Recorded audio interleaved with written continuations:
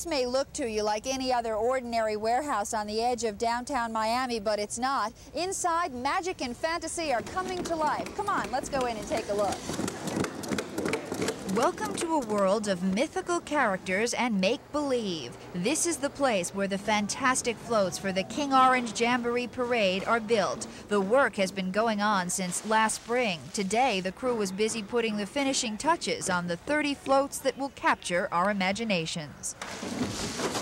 It takes a crew of 15 construction workers, painters, and mechanics to weave this wizardry. People like Robbie Robinson. He's been building floats for this parade for 37 years, but this is his last one. At age 67, he's hanging up his hammer.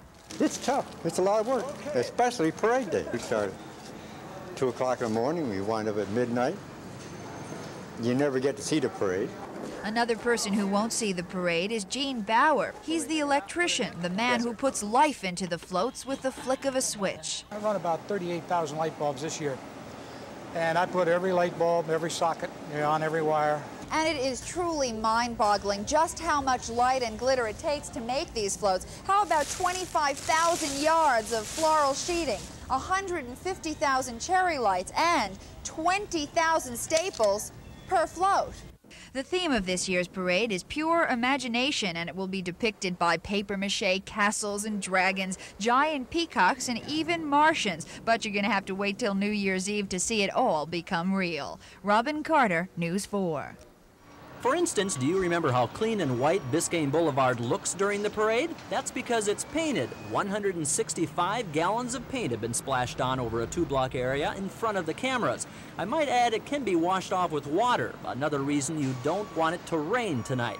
And how about the absence of traffic lights? That's because they're removed before the parade, along with light poles and other obstructions to the camera. What's added are a lot of shrubs, trees, banners, and anything colorful including paint, another reason to watch where you step this early before a parade.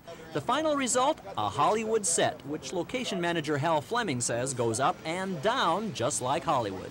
Well, it takes a month to make it into a picture-perfect set, and then uh, it takes about 10 days to take it all down. As you know, it, uh, we can get everything down about um, three times as fast as we can put it up because everything has to be level and just right going up, but it comes down awfully fast. What the camera doesn't see are all the lawn chairs, wooden chairs, and bleachers tied with reservation signs that extend along the rest of the parade route. And believe it or not, there are people already there waiting, and have been since early this morning, saving seats. We put the, we roped it off yesterday afternoon, you see. And this morning we put out the chairs because they won't stay here overnight otherwise. Everything goes just like that, you know, that goes. You can be assured these people will have some of the best seats in the house tonight, except for those in front of the picture tube, of course.